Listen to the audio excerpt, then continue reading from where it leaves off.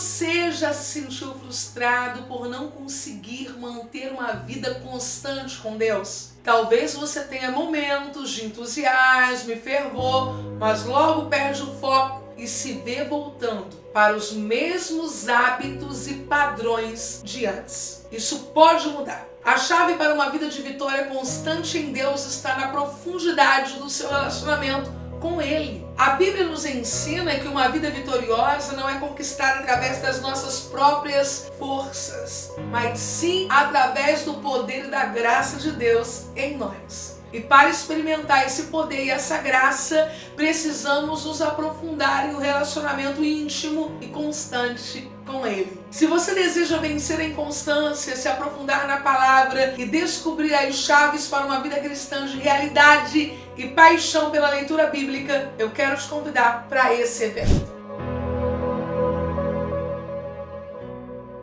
Para participar, aperte no link da descrição